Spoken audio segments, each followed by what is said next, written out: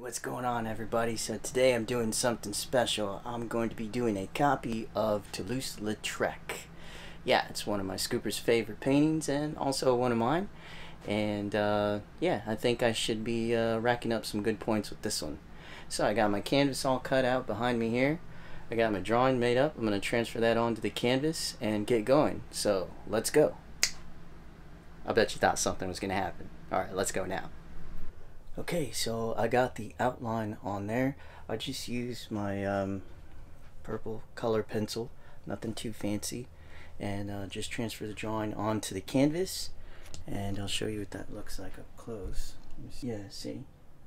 I just barely outline what I'm going to be doing.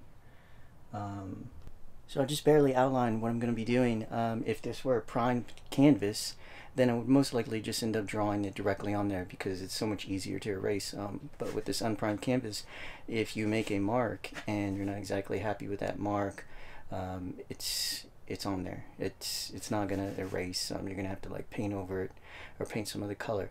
So you have to be um, extremely deliberate when you put your marks down. Um, so this is just easier for me. I found it just works and I like the way it feels and I just roll with it. So now I'm going to do an outline with the colors, with the oil paints, with the colors. And um, yeah, give you an idea of where I'm going next. All right, let's go. Just kidding. Okay, so I just did an outline um, with the oil and uh, just chose a color for each particular part of the body, as you can see. Um, I did a little bit of pink for the body, a little bit of purple down in the boots. Uh, just trying to get, just trying to get colors in their place. And um, now I'm going to move on to, yeah, there we go.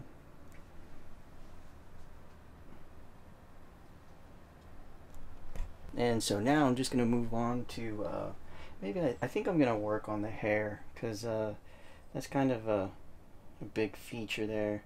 Um, and then be able to create this relationship uh, between the head and the, the back here and try and get something built around these here and then just kind of build out from there. Okay, so I'll set you up on the tripod and uh, we'll just uh, paint some hair real quick.